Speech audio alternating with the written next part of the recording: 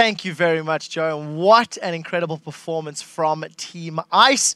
They managed to bounce back, losing the first game. Bjergsen was able to, to carry them through ultra rapid fire mode, but Bjergsen, next to non existent on that Zed, he was in a lane matchup against Froggens Anivia.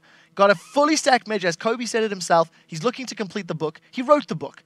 The end of the game, tier 1 boots. He had a Sunfire cape, a Warmogs, 20 stacks of Mejai's. Now, as the only member of the old CLG run that's roster that's undefeated on Anivia, mm -hmm. why don't you give me some insight into Froggens Anivia, Krepo? See, I used to play a lot of Anivia, and then I thought I knew the champion.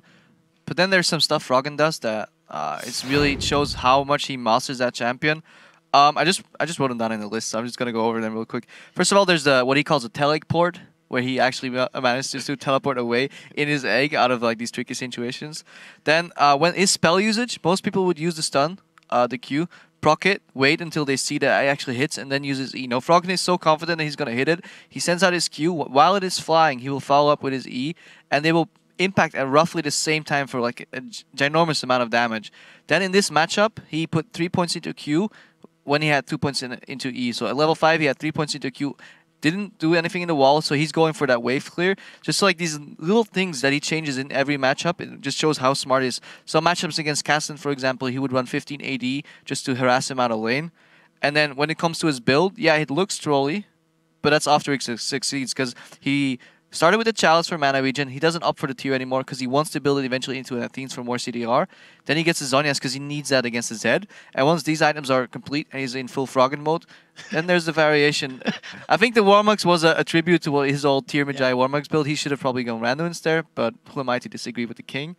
and then, yeah, the fact that he can get 20 stacks on his um, on his Mejai just shows how good he is. And then the last point, and then I'm done ranting about Anivia, is when he was chasing Lee Sin, he would place his wall, but he wouldn't fully block off uh, the path. He wouldn't completely block off the Lee Sin to prevent him from dashing over and going away. So he he would do like a half wall block, forcing the Lee to change his path enough for the team to catch up and kill him. But in case the Lee had flash or dash over the wall, Froggen still had a way to walk through and didn't have to burn his flash. So there's all these like tiny things that just show how much he masters his champion. It's amazing to see. It's sickening because I'll never ever understand a champion at that level. Yeah, honestly, I, I really enjoy the fact that as soon as Team Ice got cool, there's kind of a set bonus going on, and they just got a whole lot better. So it just seems like everything's coming into place for these guys. Yeah, he was a really good Lee Sin. Completely yeah. agree. Now, uh, just before we talk about cool, let's highlight Mad Life in the early game. I felt like both of those players were moving around the map significantly. Mad Life on Thresh, landing a ridiculous number of hooks. His flays were good.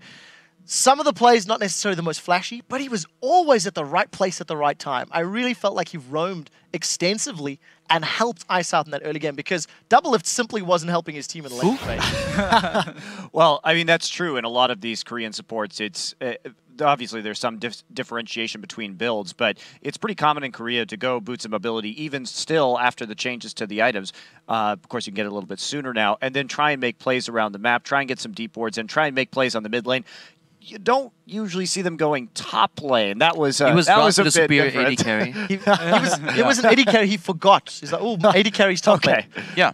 But I thought it was the lane swap. And the one bottom lane was pretty useless. So yeah. I had to go up there, as Pepper said. But for Mad Life, I wish I'd written down some notes as well on him. But it's it would just say Mad Life is a god, and he always knows where to be in the right time. And with mobility boots, Korean supports. Gotta give him that. Talk about cool for a quick moment. Uh, substituting in for Team Ice because, of course, uh, uh, Same had to step away uh, due to some family issues. And, of course, he really showed up. 10, 2, and 16 on Lee Sin. Not traditionally a jungler, but his ganks were good. His his presence was good. He he was backing everybody up he needed to. I think this will be just for him as a player a big confidence booster as well. He had uh, you know he's been out of the competitive scene, taking a break for a while now, and uh, in his last match in the LPL, he didn't perform up to his old standards, but he, man, he looked good. His mechanics were really on point tonight. Yeah, you, you got to consider this is the sub for OMG, a team we're going to be seeing later on, right? Like his replacement Xiang is is ridiculously good, and uh, yeah, he was always in the right place at the right time. I kind of like the fact that he added a Warmogs and then uh, got a uh, chain vest as well. Like he, I feel like he was starting to mirror Froggen's build towards the end of the game.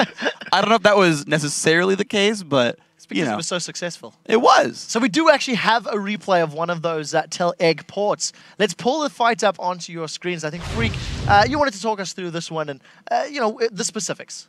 Uh, yeah, so let's go ahead and get the replay started here. This is uh, 11 and a half minutes in, so Uh, it depends at which this point is we uh, can see. double lift uh, getting caught, I believe. Oh yeah, just Well, double he's killing double flying, golems. As a true AD carry, he's getting farm, which is very important for an AD carry here.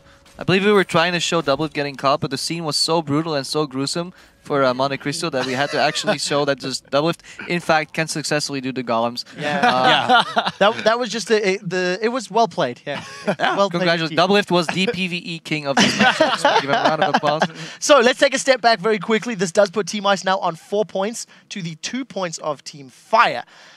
Both of the game modes that we've seen them playing a little more standard. Team Ice has, I'm going to call it out right. They've frankly stomped Team Fire. Does this mean Team Fire are panicking? I mean, you know, Monty, what do you think of the rotations in these impromptu squads? Oh, they've been great. And uh, Team Ice, uh, we've talked a little bit about it. We've seen the players talk about it. They didn't really gel that first day. They didn't really practice, and Fire was tryharding. But ever since then, they they really uh, seem to have made Ice keen for some revenge. So However, there are still seven points left to be claimed in tomorrow's 1v1s, 2v2s, and of course we have the super 1v1 challenge that the fans voted for between Froggen and Wei Xiao. So nothing is 100% set in stone yet.